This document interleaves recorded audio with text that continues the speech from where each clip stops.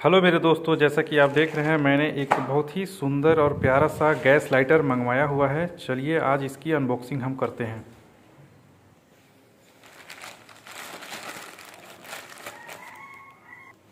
ये देखिए अनबॉक्सिंग करने के बाद कुछ इस टाइप का इसका डिब्बा आया है।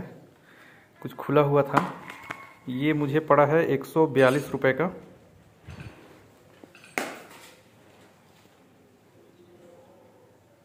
अब आइए इस डिब्बे को ओपन करते हैं।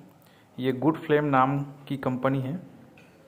अब ये देखिए, एक लाइटर, एक ब्लैक कलर का लाइटर है। दिखने में काफ़ी अच्छा है। अब ये वर्क कर रहा है कि नहीं, वो चेक करते हैं। ये देखिए, कर रहा है वर्क। चलिए, थैंक यू मेरे दोस्तों, थैंक यू सो मच।